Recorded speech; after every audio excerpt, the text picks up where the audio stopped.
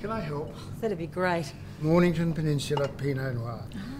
Glorious fragrance, lovely finish. Thanks, James. That makes it so much easier. James Halliday's Wine Companion, the definitive guide to Australian wine. Go to winecompanion.com.au. Next time you choose wine, take James with you.